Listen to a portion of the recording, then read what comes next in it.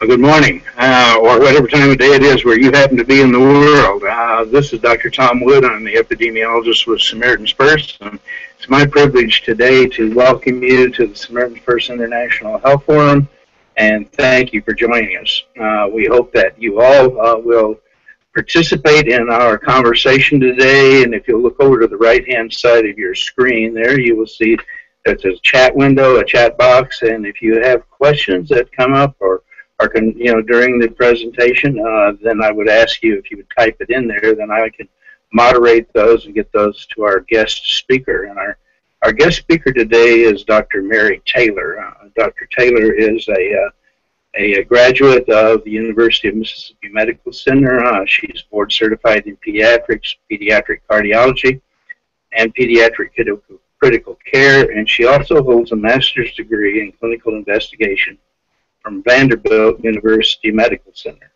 Uh, Dr. Faye Taylor found her passion in perioperative cardiac critical care after her fellowship at the Boston Children's Hospital.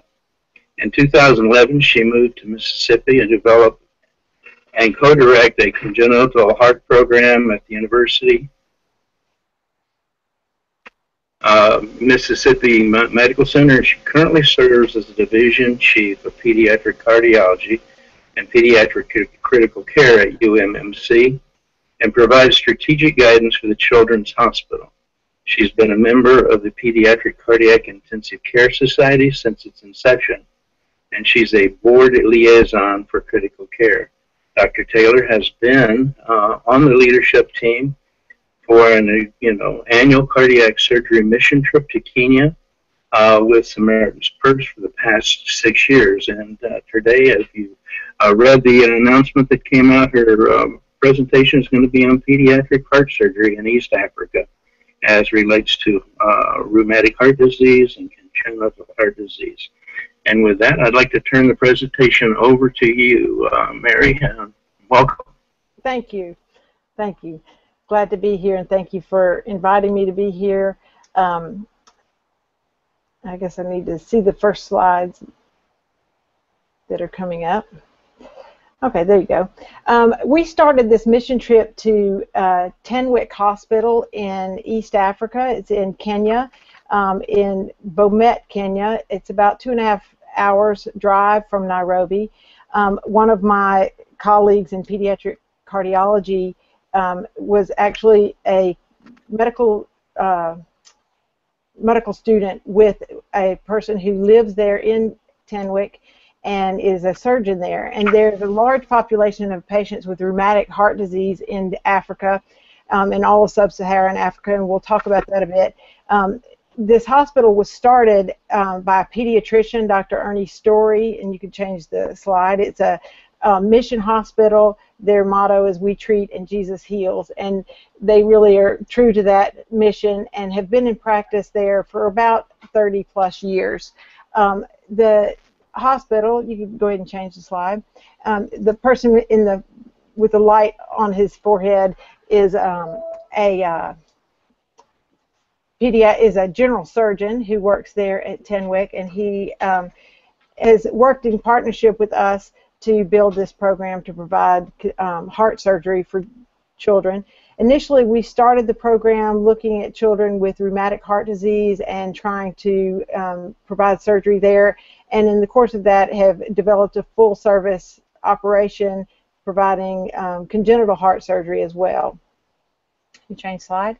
Um, so rheumatic heart disease, uh, the global burden in children and young adults um, is very, very high. There are about 233,000 deaths annually, and about 15.6 million people are currently affected. Um, largely, rheumatic heart disease has been eradicated in this country, um, in the United States, um, but is quite prevalent there, and pretty much every patient that you see has some degree of impact from rheumatic heart disease. Um, it's very prominent in sub-Saharan Africa, South Central Asia, the Pacific, and in some places in Australia and New Zealand. So this is just a, a, specimen of a heart showing you in the center of the picture there is a thickened valve. The leaflets of the heart should be very paper thin leaflets and the um, when a patient is exposed to streptococcal infection, the infection can involve the heart valves, and the valves become very thickened. And you can imagine that it makes the valves really non-functional to allow blood to pass through the heart as it's supposed to. Next slide. So this is actually a valve that has been taken out of a patient. We're putting in an artificial valve in the place of this. And if you show the next slide, I have my fingertip in the valve. That just shows the, the amount of opening of that valve. This came out of a child who was um, in his late teens, and that should be widely open. The valve should be um, paper thin leaflets that open fully to allow blood to go through the heart. And I'll show a little diagram in a few minutes that explains that a little further. So the Mission Hospital, when you get there, we take an entire team of people to do this cardiac surgery. It's quite an endeavor. We take about 18 to 20 people. They include cardiologists, critical care doctors, nurses, nurse practitioners. We have a, um, a biomedical engineer that helps us maintain the equipment and monitors that we need, perfusionist, um, anesthesiologist. It's a large team, and you drive from Nairobi, as I mentioned, to Tenwek Mission Hospital, which is in a um, rural part of Africa. Next slide. Um, it's a beautiful area with it's a tea growing region, fairly mountainous. When I first went there, I was kind of surprised to see how lush um, and green it is. Next slide, and this is, shows an overview. Samaritan's Purse came and filmed our um, group when we were there a couple of years ago and did a, a documentary about the congenital heart program. Um, and they had a GoPro camera, and one of their photographers took this photograph. Um, this shows the campus of the Tenwek Hospital. It's quite a large hospital that's associated with a nursing school. Um, there's a chaplaincy school, and there's also a medical school. Uh, I mean, a residency program. Their residents live on this campus, and um, we spend a good bit of our time trying to help educate the nurses and the residents so that they can start providing some of this care themselves in the future and they're currently doing so. Next slide. So this is part of our team arriving on campus. Um, uh, we have drivers that bring us over from Nairobi, and the person in the on the left is a, a nurse that came with us. We have multiple nurses. As I said, we usually um, have about 18 to 20 people on our team. Next. Um, we took when we first went there, we take tours of the hospital, but this is just give you an example of the type of facilities. It's a very uh, well-maintained hospital. Um, this is their waiting area for their um, for some of their clinics. Next, um, their casualty is their emergency department, and um, the person, the man going through the door is actually uh, Ben Roberts. He is a pediatric, I'm an ophthalmologist, excuse me, from Birmingham, Alabama, and he lives there on the Tenwek campus um, and does an extraordinary job taking care of people with ophthalmologic problems. Um, next, they have tiny babies that are, this is the equivalent of their neonatal intensive care unit. You can see the light at the end of the box that's providing heat for the baby. Um, you know, unfortunately, they don't have a lot of resources as far as maintenance of tiny small babies, and we have a limitation of the size of the babies that we can do heart surgery. But it's um, pretty dramatic, you know, how many patients do actually do well, and they, um, even this tiny premature baby, um, as long as they don't have a lot of ventilatory needs or um, complex needs, they can do quite well. So this is us setting up our makeshift ICU. We turn their um, recovery area from their operating room into an ICU. The man walking across is a biomedical engineer. He's helping us with the monitoring setup. Um, the girl on the on the right with the pigtail is a um, a nurse from Vanderbilt Hospital. She's gone for every one of the missions that we've come to Tenwek and is kind of our leader of, from the nursing standpoint. We bring a lot of the supplies ourselves, including a lot of the medications that we need for the post-operative care. Um, as you can imagine, doing heart surgery in the United States is a challenging um, endeavor. Um, it takes a huge team of people, even here, and a very large number of resources and um, can be very complex, especially in the post-operative period. Um, we're trying to choose patients that can recover relatively quickly and can have a full recovery um, and not need future surgery. So some of the operations that we do in this country we don't do there because we would need subsequent operations. We want children who um, have a repairable lesion um, and can leave, lead full and healthy lives after um, we're finished with the operation. Next. Uh, this again is our ICU. We um, again bring monitors. We have echo machines and all types of equipment that we bring over. You can go to the next slide. Um, and one of the big pieces that we do is perfusion. This person is a perfusionist. Um, and they we set up a supply closet and maintain a good bit of our equipment there in um, at the hospital so that we'll have it for subsequent trips. We've now begun building other teams from other institutions. Our team largely came from Vanderbilt um, Medical Center, and we've now kind of dispersed across the country. But there's a team that is being formed from Cincinnati Children's Hospital. There's uh, a team that comes from Mayo Clinic, for example. Um, there's different teams from um, across and from Maine, um, actually, and the, the different teams that come, and we leave some equipment and supplies there. The perfusion is a form of heart-lung bypass that's required to do heart surgeries. Um, we are training the Kenyan staff to do these this part of the procedure while we're not there. Dr. Russ White, who lives on the campus, is doing some of the valve replacements, and their team is quite skilled at providing the care. So our perfusionists work with their team um, to continue ongoing education and have them actively involved in kind of all parts of the operation. You next. This is um, me when in the one of the supply rooms. This is some of their ventilatory equipment. Um, as you can imagine, the resources are fairly limited, and they reuse quite a bit of their equipment. That's not something we normally do in the United States, and we have a fairly wasteful environment and throw things away and don't reuse them. But these are um, not, you know, they're used for multiple patients, and um, they have their own system of maintaining things, and it's it works quite well. Next. Um, again, this is the ICU as it's kind of set up, and you can start seeing patients there in the background. You, one of the challenges, uh, the you know, you can't really take anything for granted when you're kind of in the field doing um, these types of things. Um, it's a kind of a given in our hospitals in the United States that when you have oxygen piped into the hospital that it's going to be oxygen coming out of the wall at all times. Their oxygen, um, they have an oxygen concentrator there on campus, um, and they strive to maintain you know adequate supply of oxygen. We kind of take do our toll on that for these operations because the, uh, the heart lung bypass machine also requires oxygen going to it, and plus we're doing more complex, longer procedures so the oxygen um, capacity can be kind of limited at times.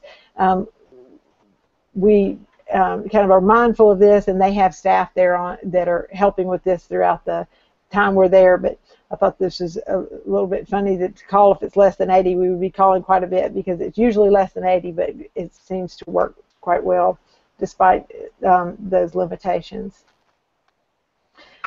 So we see patients in clinic and we arrange, um, some of their staff there that is on campus arrange for the clinic patients to be there when we arrive so that we can start screening patients. Um, so these are two young children and their mothers that have come to be screened. In general, we screen probably um, on the order of 100 patients and choose about 20 patients. We operate for two weeks and we do about two operations a day, Monday through Friday. So we can do up to 20 to 25 patients um, in the course of our time there. Um, and we might screen 100 to 150 patients to pick those 20 patients that are going to have the best chance of a good outcome. We want patients that are sick enough that um, they uh, need surgery kind of immediately, but not so sick that they're not going to recover well in the time that we have to be there. We don't want to leave critical patients kind of you know there when we leave so we have a little bit of preparation time and a little time that we stay at the end of our trip to kind of help them through that this is Dr. Mike Liskey, so I think he might be online somewhere listening in. He is um, kind of the founder of this program. He and Dr. White, who were uh, were trained trained together in school in medicine, and um, he is a cardiologist, pediatric cardiologist in Tennessee, and he, he comes every year, helps orchestrate the whole um, trip, including all the travel and coordinating all the people that need to be there. Um, he screens patients with another cardiologist in clinic, and they see, as it said, up to 100, 150 patients, even to select the patients. Um, we have meetings every day that we're there to go through the patients that they've seen in clinic and kind of screen and pick, you know, select the patients that are going to get operations. We sometimes take gifts for the patients. We took um, several soccer balls, like a hundred soccer balls, to give to the children that we see in clinic as a um, a gift. Many of the children do not need operations at this time, or they have a condition that someone expressed concern about, but they were able to be cleared and said, you know, they can go, you know, don't have anything that needs any care. Some of them need some medications to maintain, and we can schedule them to come back and see us the next time we're there if they need any future surgical intervention. I'm going to move into a few of the types of lesions that we operate on. This little baby came to us, this was a couple of years ago. This little baby, um, I believe he was uh, five or six months old. He has a condition called truncus arteriosus. You can see his lips are quite blue. His tongue, if he stuck his tongue out, his tongue was a little bit dusky. Um, this is a condition that would have been operated on in the first week or two of life if he were in the United States. Um, and it's quite remarkable that he looks so healthy and well despite having this condition, but certainly it's something that he would not have a long life if it weren't repaired. Um, the I'll show briefly about normal anatomy. So, it, kind of the easiest way to think about it is to tracing trace the path of the red blood cell through the heart. So, pretending you're a blood cell, and you're going to come back to the right side of the heart, which is on the left side of your screen, go through a one-way valve out to the pulmonary artery that takes blood to the lungs, and then come back from the lungs with oxygen in it and pump it out to the aorta, or the kind of crook-shaped vessel that's exiting the heart. Next slide. So this is a picture of truncus arteriosus. So the blue blood is the unoxygenated blood that's coming back to the right atrium and going through the tricuspid valve to the right ventricle. The red blood is coming out of the lungs with oxygen in it, and it's going to the left ventricle. And in truncus arteriosus, instead of having two distinct valves coming out of each side of the heart, um, the pulmonary artery from the right and the aorta from the left, there's one trunk that is a persistence of a um, fetal structure that everybody has when the infant is forming. Um, and in truncus, that one, the vessel fails to divide into the two arteries. So you have all the blood mixing together, pumped out that one vessel, and the blood has a choice of either going to the body or going to the lungs. Next picture. And you can, this is an echo picture that kind of shows that same um, situation. So the RV is the right ventricle, left LV is left ventricle. Um, it shows this VSD or ventricular septal defect that's kind of um, overriding the truncal valve that is pointed there with abnormal truncal valve, and that's just one um, large vessel coming out of the heart. Next slide. These are just a picture cartoon of the different types of truncus. Um, that type 1 is the most typical um, type and that's the top left picture. Um, and again, that the goal of the operation is to close the hole between the two pumping chambers and to separate these two vessels. So take that pulmonary artery off the aorta and then put a connection from the right ventricle to that pulmonary artery. Next slide. So here's a cartoon showing that so that the truncal valve now becomes the aortic valve and then you have that tubed Gore-Tex or a piece of um, homograft or a donor graft that connects the right ventricle to the pulmonary artery to take blood to the lungs. So after this operation, the patient's circulations are, are separated and they're fairly, you know, pretty much a normal um, circulation. So this is a great example of something that um, is repaired. Um, it's not a palliated operation. That person wouldn't need future operations other than to follow up to make sure that they don't have any narrowing uh, of that conduit over time. Um, but for the most part, this would be a repaired um, a, a repaired operation. Next slide. So some of the things that we're concerned about in doing this operation is mostly pulmonary hypertension. So the, the lungs have been exposed to high pressure and over circulation or extra blood going to the lungs. Um, especially if this is repaired late in infancy. As you can imagine, this baby's five or six months old, so for six months, a lot of extra blood is going out to the lungs. The lungs are kind of getting beat up, so to speak. Um, the blood vessels in the lungs become thickened and develop um, propensity to have pulmonary hypertension. Um, in our country, in the United States, we would operate on this child certainly within the first month of life, usually in the first couple of weeks, um, so that this lessens the risk of having pulmonary hypertension, and even still, patients can have that. And we have some things here um, that we can provide to patients in the United States that aren't available in Kenya. Some mechanical support, like uh, something called ECMO. Nitric oxide is a drug that you can inhale. It's quite expensive, and it's something that we use in this country. Um, and, but our options are quite limited there. We can't really extend the period that we keep them anesthetized because it, we have limited resources to care for the next patient. So we have to um, really choose wisely and be very careful in the postoperative care. Next slide. Um, so again, other things are things like low output. That so if the heart kind of struggles sometimes after heart surgery, um, and in general, we in this country might leave the chest open for a few days, leave the patient on bypass support or ECMO for a few days, but this isn't something that's really an option in Kenya. So uh, again, it's careful patient selection is kind of the mantra that we live by. Next. Um, there are some possibilities of having some residual problems after this operation. Um, we do transesophageal echo um, during the procedure. So Dr. Liskey would come to the operating room, do a special kind of echo to look and see is there any leakage of the valve that is now the new aortic valve or the neo-aortic valve. If there's any narrowing or leakage of that valve that might require um, more surgery, any residual connection or hole between the two pumping chambers all those things are very important to maintain good postoperative care, and those things we would go back in right away and fix those if there was a problem.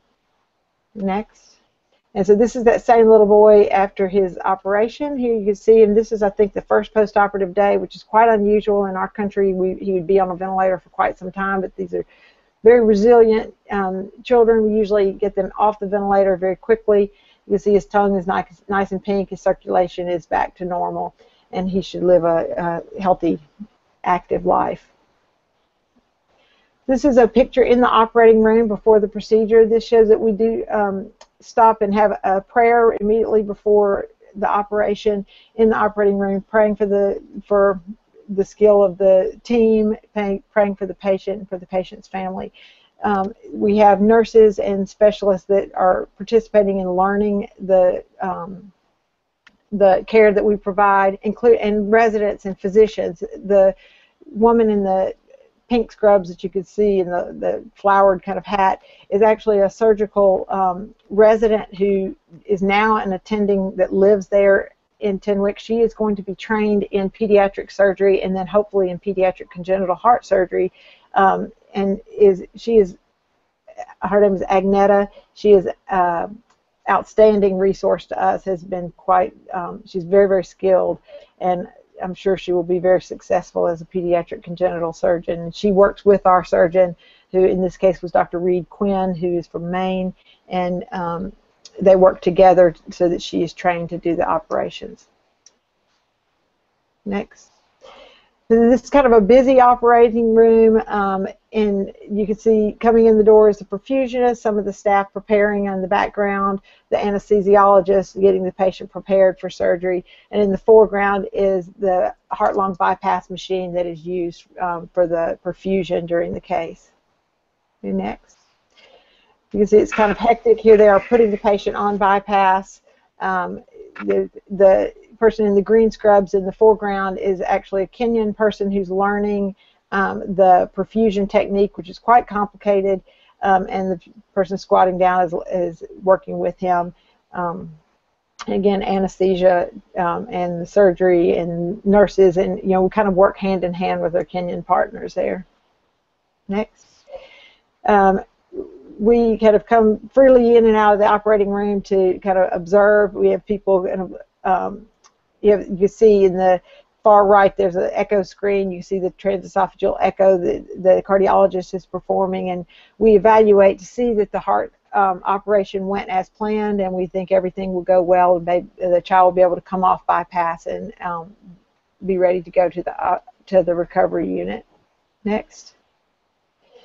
Um, this again is Agneta on the left, who is learning to do surgery. Dr. Ali Dodge-Khatami is on the right. He is actually from Mississippi and one of my partners. He went um, a few, couple of years ago, um, and these are kind of close-up pictures and the intensity of this um, procedure. Once the operation starts, um, in general, the operations take anywhere from three to five hours for the operation itself. It's quite intense and the clock is ticking and we try to do it as quickly as possible to minimize any kind of long-term effects of having been on the bypass machine. Right, next. Um, so this is a picture of the, the tubing that is placed inside to, to do the heart-lung bypass. Um, it's, again, quite an intricate procedure.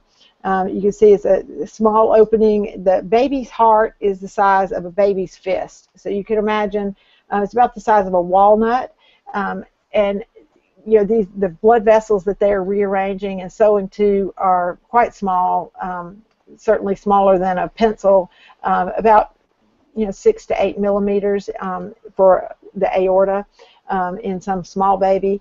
Um, so it's quite intricate operation that we're doing on small, tedious structures. Next the child is then brought um, through those double doors into our recovery area.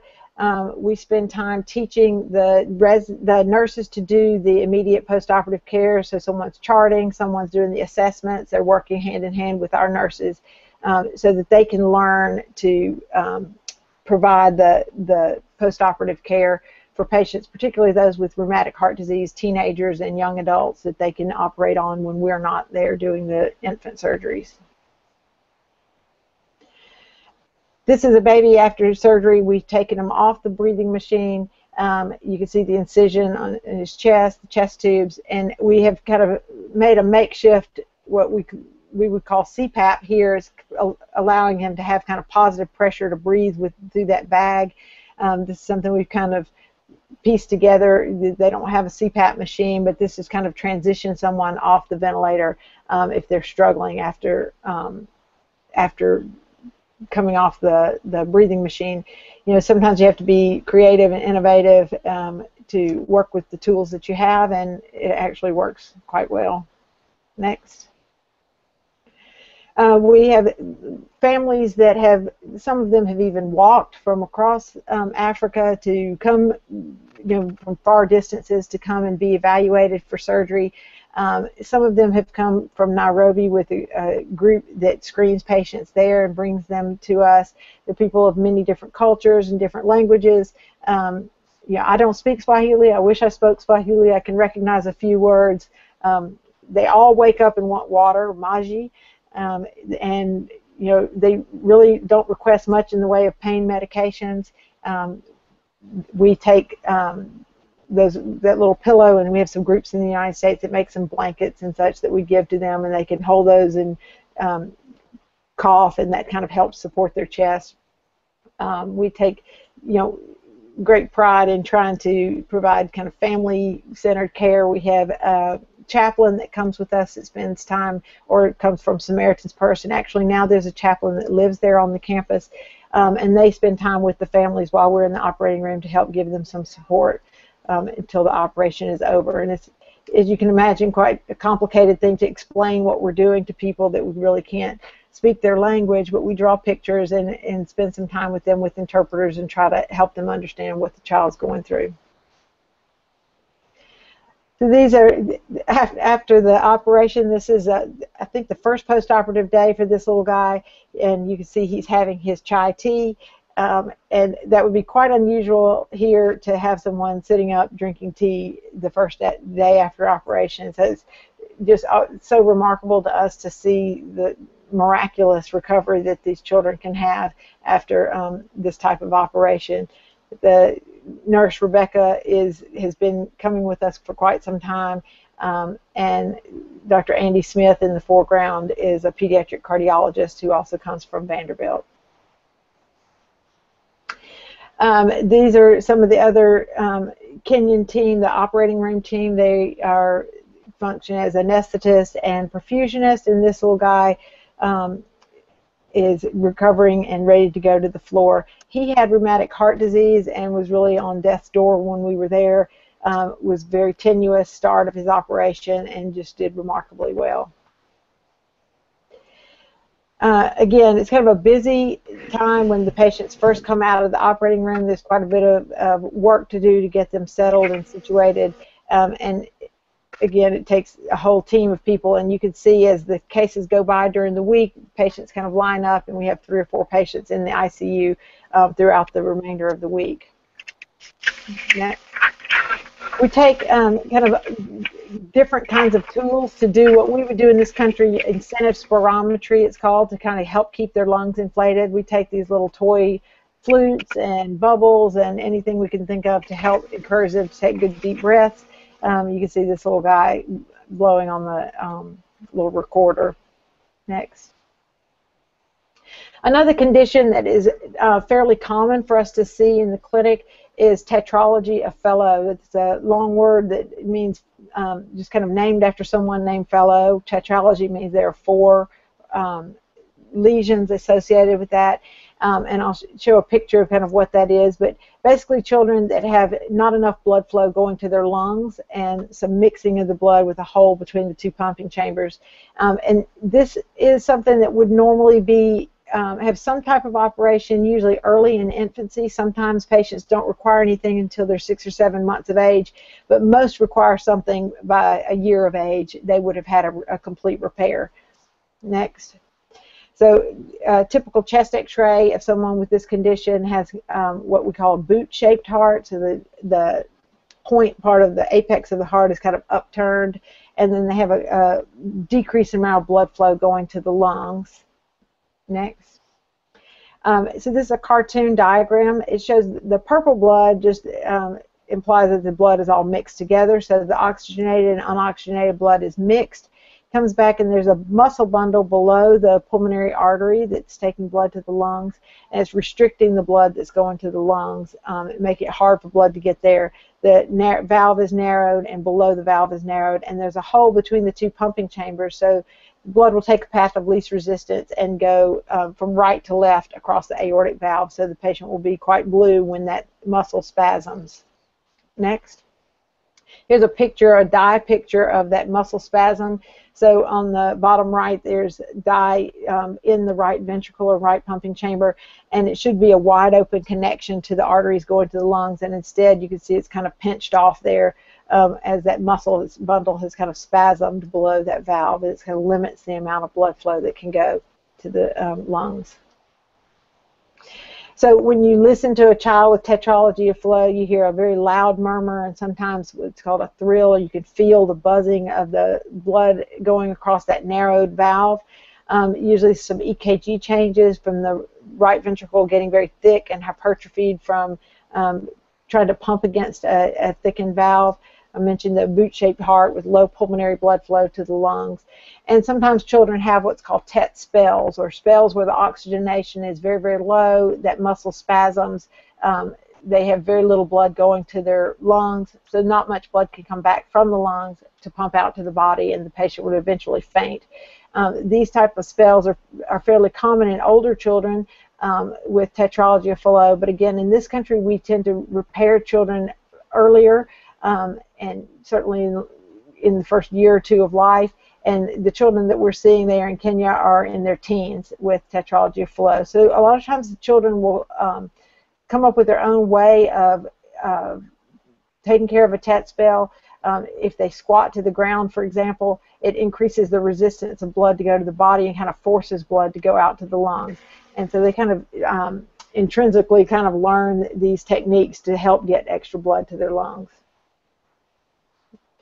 So this is after the child is repaired. They would patch the hole between the two lower chambers, patch open the artery going out to the lungs, um, and you would have separation of the circulation and the person would be repaired.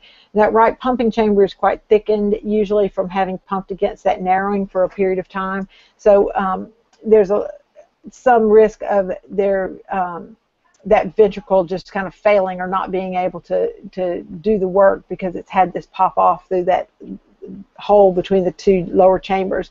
Sometimes we leave a little extra hole between the two upper chambers um, to help in the immediate postoperative period. But surprisingly, for the most part, children do quite well after repairing this. So this little guy had a tetralogy repair, um, and he did quite well. This is in the um, in the clinic area, I mean, I'm sorry, the ward area, after they leave the ICU, they go to an open ward. You can see kind of beds lined up there, um, patients of different um, illnesses and different conditions. Um, and he's there. We continue to follow them once they're on the floor and until they're ready to go home. This is a infant who also, I think, had tetralogy of Fallot. Um, you can see, you know, this is immediately or you know within the first 24 hours after surgery, which is really quite uh, astounding considering in this country patients are usually in an intensive care unit sedated on a ventilator for several days after this type of procedure. Next. One of our missions is to teach um, the people there, so we give talks and um, some about emergency response, um, life support kind of techniques, um, some specific to recovery after heart surgery, specific to rhythm problems, for example. Um, and these are some of the nursing students. Um, we've now built a relationship with them such that they have assigned certain nurses to come to be with us throughout the time we're there so they can really get some more intensive education um, and we have some nurses that come back every year to work with us each time, and they're very, very skilled and really need very little of our help now in doing some of the post-operative recovery. Next. Um, this little guy um, was operated on a couple of years ago. He actually wants to be a doctor, and he came back to visit us this past time when we were we were here. And again, he's pretty freshly post-op um, and doing very well after his surgery. We um, have a fund that T-shirt says Hearts of East Africa.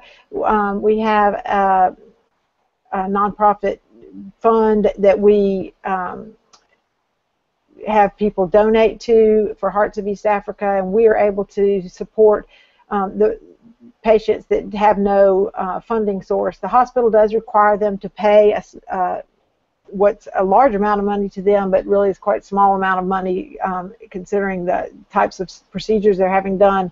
But some people aren't even able to um, pay that. So we um, have the funds to support um, the needs of the patients that, that we have chosen to have surgery. So um, they bring some of their own resources and then we supplement them to be able to um, take care of all the cases that we need to do. Some people are not quite so happy after they've had their operation. This person, this little girl, was a little bit grouchy right afterwards, but um, by the end they're running outside and playing and, and look quite well before they go home. The next case that we're going to talk about is um, called um, atrioventricular septal defect or AV canal. This child has Down syndrome, which is uh, not uncommon um, genetic syndrome when you have three um, chromosome 21s. Um, and this lesion is, this syndrome is very highly associated with a condition called atrioventricular septal defect or AV canal. Next slide. So um, atrioventricular septal defect means that there's basically one common upper chamber or atria and one common ventricle. So there's a large hole between the upper chambers, a hole between the lower chambers, and so the blood can flow to and fro um, between those chambers. And in general, as I mentioned before, the blood takes a path of least resistance, so there'll be quite a bit of blood going to the lungs. Um, this condition is usually repaired or um, at least restrict the amount of blood flow going to the lungs early on, and generally it's repaired in the first few months of life um, because we, you know, with time, if there's excessive blood flow going to the lungs, the lungs will develop pulmonary hypertension. And children with Down syndrome are at particularly high risk for this. And if it's not repaired in a timely way, they will have irreversible pulmonary hypertension even after the repair is, um, is completed. Um, so the first 24 hours after surgery is usually pretty um, touch and go because um, you know the, there's some degree of leakage of those valves. You have to put a patch between the two upper chambers, a patch between the two lower chambers, and then attach, reattach the two AV valves to that patch. So those can leak some. Um, in general, we try to keep the patients sedated um, and with you know not a lot of volume inside the heart in the first 24 hours. Um, and those are all kind of touchy things that we monitor a lot of um, different pressures when they're here in this country. We have kind of limited time um, uh, on a ventilator in Africa and limited numbers of medications that we can use to support the patient. So um, we have to have very careful monitoring of the amounts of blood that is in the heart, the filling of the heart, and those types of things. Pulmonary hypertension, I've mentioned, is is very likely, especially if it's a late repair, um, and higher incidence in Down syndrome. Next. Um, so this is all patients with AV canal don't necessarily have um, uh, Down syndrome. Um, also, we can also have patients that have just the VSD or the lower chamber that has a hole between the two lower chambers. Next. Again, we bring um, balls and toys and things to the children to give them little prizes after surgery. And in, in general, the children are up and uh, running around soon afterwards. We usually bring um, quite a bit of equipment I've mentioned already, but um, each person on our team brings two large duffel bags full of a limited amount of their clothing, but for the most part, supplies. You can see um, just in front of, just aside the bed is the chest tube um, container, for example. They're pretty large items that we have to pack into duffel bags and bring enough to do all um, 20 or 24 operations. Right, next. Um, the surgeon on the right is Dr. Bret Mettler. He is actually at Vanderbilt, and he's come with us a couple of times on the um, on the trip, um, and we spend time, you know, bonding with the patients before and after, um, praying with the patients and the families before, um, and it's just the most rewarding experience to see how quickly they'll recover and um, just to imagine what this child will be able to do as a healthy adult. Next. Um, some of the things that this kind of sticking with their kind of cultural um, systems, this little guy refused to use the bathroom in the in the ICU. He wanted to go outside and use the bathroom. So this is probably one of the first times that we've I've seen somebody escorted outside to use the bathroom with the um, take kicking his chest tube in tow. This is kind of in the middle of the night. You can see it's dark outside. Uh, you know, we provide care 24/7 when we're there. So a physician, nurses, nurse practitioners, we're there all night long in the ICU with them. Next. Um, again, this is uh, another picture in the operating room. Um, it's a lot of complex instruments. We take some of the instruments with us. Those perfusion pumps that are on the right, Dr. Bob Groom has been on a number of trips. Um, he is a perfusionist, and he's in the red cap on the on the right. Um, uh, the perfusion equipment is very, very complicated with lots of tubing packs and things that have to be shipped from the United States, and he's helped us um, get those there for them. And they have some equipment that they keep there, like that perfusion machine itself, and the biomed has to work to maintain that and make sure that it's working properly when we get there because that's sustaining the patient while they're operating on the inside of the heart. Okay, next. Um, one thing that we've embarked on since starting the um, program is doing some catheter-based um, interventions. So rather than having a full-fledged operation, the cardiologist, the tall gentleman in the green um, in the green gown, is Dr. Tom Doyle from Vanderbilt. He's an interventional cardiologist. So some of the procedures we can balloon open a narrowed valve, for example. Um, we have to kind of make a makeshift um, means of doing so because they don't have the same type of equipment that we have to be able to do video monitoring while we're doing the procedure, which you have to be able to play back to make the measurements to determine the size of the balloons, etc. Um, so on the left you see Dr. Liskey and you see someone with a camera. We're um, videotaping some of the um, x-ray pictures so that we could play it back and make measurements. But this has allowed us to do some non-invasive, more minimally invasive procedures while we're there and extends um, our care so that we can do the 20 operations plus four or five um, catheter-based interventions at the same time. Next.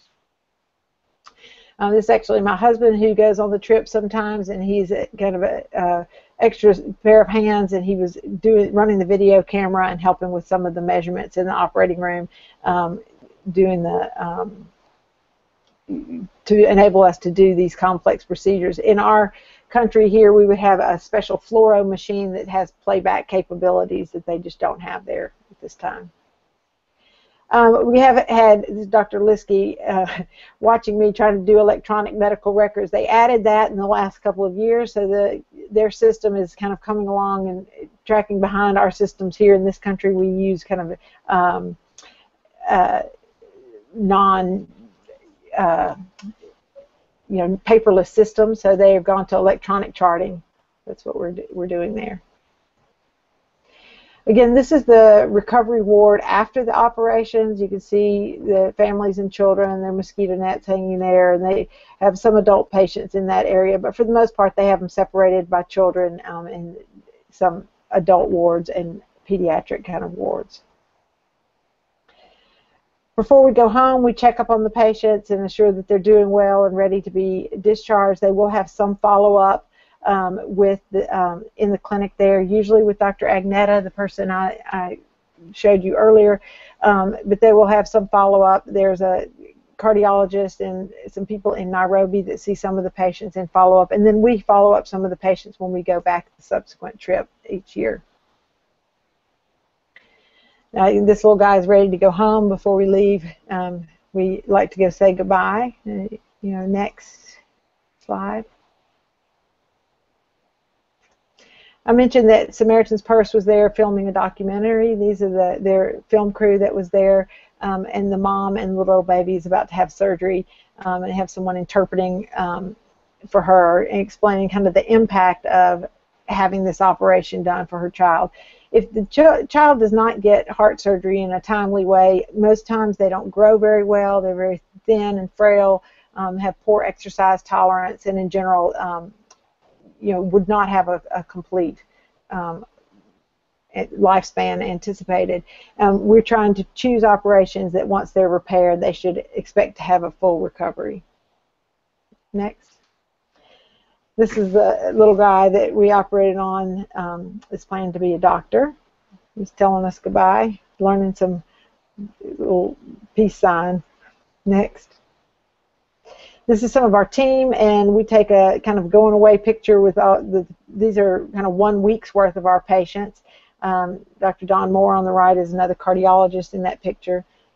All right, next. And this is our team this past year. This is a, one of our other weeks of, um, of patients that we took care of um, with some of the nurses, and we took them outside and take a picture before um, they're discharged. Again, um, with the striped shirt is Dr. Russ White, and he is um, the chief surgeon there on the campus at Tenwek, and he um, is able to continue to do some of the um, heart valve repairs um, on older children. In general, the children over the age of 13, 14, you know, maybe 15 um, can have surgery there when we are not there. Now that we've trained their team, and then we can reserve the younger children to be done when we come back. Next. This is a little guy um, who came back to clinic to see us. Um, and Dr. Liskey would see some patients in clinic and follow up and ensure they don't need any other further medications, repeat their echocardiogram, etc. Next. Um, I just threw this in there. We, on our way home, we sometimes um, see some other parts of the community.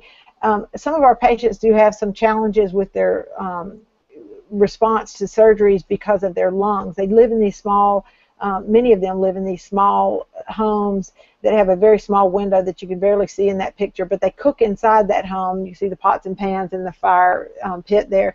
So they have a lot of smoke inhalation, and so their lungs are not perfectly healthy, um, and sometimes this does impact their immediate recovery, and we have to take these things into consideration. And there's another picture of their uh, the home um, that they types of homes that they live in. Right, And I think these the last couple of slides are just some other scenes from Africa and the miracle of what we do is really um, pretty impressive that we've been able to accomplish this, I think, so far, and we're excited every year to go back. It's kind of the highlight of our of our year. And I'll be happy to entertain any questions. All right. Thank you very much, Dr. Taylor, for a fascinating talk. Yeah. Um, I've been in Africa a lot, and I love the children there. And to see those pictures of children that have before and after is very rewarding, I'm sure, for you. Yes. Yeah. Okay. Uh, one of the questions we have come in is from, I, I believe it's a Skip Roy. He's a physical therapist. Uh, he said he's been to Tenwek before, mm-hmm. but he wonders if there's any role for post-operation rehabilitation with these. I think that's a great point. That's um, it certainly would be something that would be very helpful. Some of the patients are quite debilitated when they have their operations. You can imagine if they've um, not had surgery that would have been, you know, really required in the first few months of life, and they're several years old. Um, they have quite a bit of limitations. They've had poor exercise tolerance, so a lot of them are have muscle wasting and what we call failure to thrive. Um, so I think early rehabilitation and, and working with the families to show them kind of ways that they can optimize their care after they go home, it certainly would be helpful. Okay. Yeah, I noticed during your presentation you said that uh, in spite of the number of times you've been there, you've picked up some Swahili, but not much. Uh, not much. Having having spent the time in Africa, we started out with a three-month uh, trip uh, when, when the back in '92 when the Somali crisis was going on, mm-hmm. and uh, it, it, you deal not only with Swahili, it's the major language, right. but uh, you said you had patients coming from all over Africa, so language becomes a problem. But uh, how do you uh, manage that?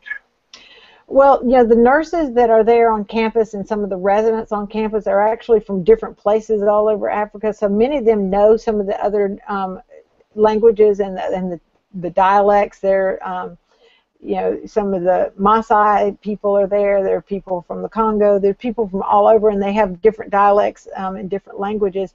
And many of the nurses are very, very helpful with that. The parents can be very helpful. The children themselves are very, very helpful because they are learning some English in their school, um, and most of them have some ability to understand at least what we're saying and, and can be helpful. Um, we have people that um, live there at the Tenwek campus that have um, experience with that also and can help us interpret. I can imagine that uh, you know one of your major um, rewards is just seeing the outcome of these children. But I think that people who would might be considering you know uh, that kind of service uh, might be interested in what you consider your major challenges as you seek to put together a team to go do that. Mm-hmm. I think the major challenge in constructing the team, you know, obviously we don't we don't have a shortage of people that want to do it. I think that's fantastic. Um, we have very passionate Christian people who are really eager to be helpful and to um, apply their skills in a different area of the country. Um, I think teaching is a really important thing, part of what we're doing. Um, I think one of the big challenges is getting all the equipment that is necessary and getting the, the funds to be able to take care of all the patients that we want to care for. The screening is a big part of it, and so being able to have the um, the support systems to do that, to have the equipment that functions well. We take some of our equipment with us, but there's always a chance that the equipment malfunctions or you, you know there's some problem. That, hence, we bring the biomedical person with us. But you know, I think that's kind of the biggest problem is having you know, getting everything there. Now that we've been doing it for some time, we have some systems in place, and we know the system. It's very um, fairly seamless now that we've got some equipment that we can leave there. I think having some communication with their people who live at their campus, other um, groups come and use some of the equipment that we've left, and so we need kind of a means of categorizing or um, uh, you know, keeping track of all the equipment that we've left there and the medications that we've left there. Um, there's sometimes a communication gap trying to know what all is there in preparation for the next trip. So that's been a little bit of a challenge. But um, for the most part, you know, God has miraculous ways of working these things out, and we get there, and there are patients waiting, and things go quite smoothly, and patients do very, very well. Then uh, I think about the last question we'll have time for is Cindy Bonzo, who is the director of our Children's Heart Project at uh, Samaritan's Purse, Mm-hmm. uh, is curious, and she says, what types of congenital heart repair can now be routinely done at Tenwick when your visiting team is not there?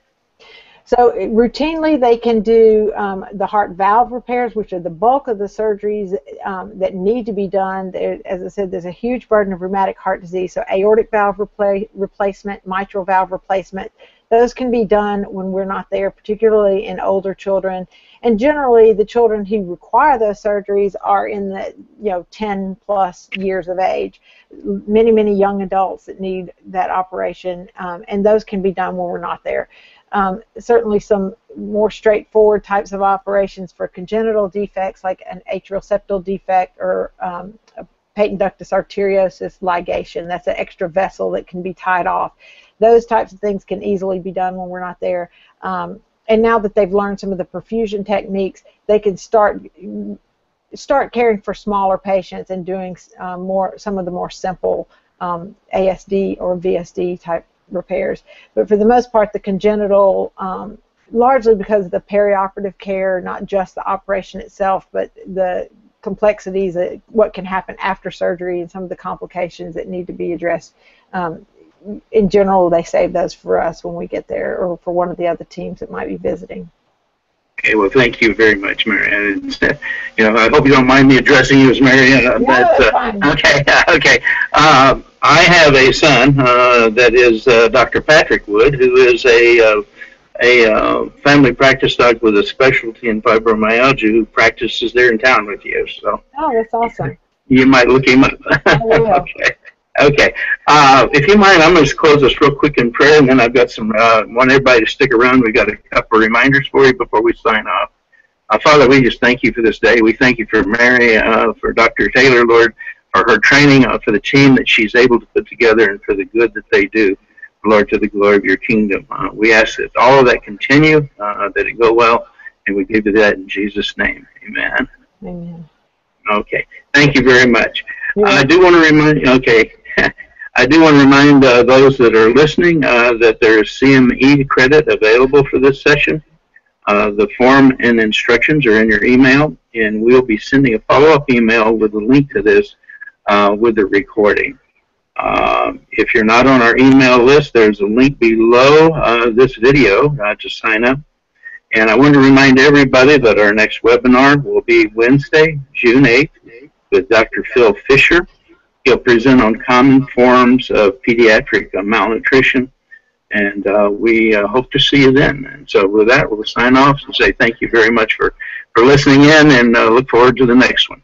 Thank you.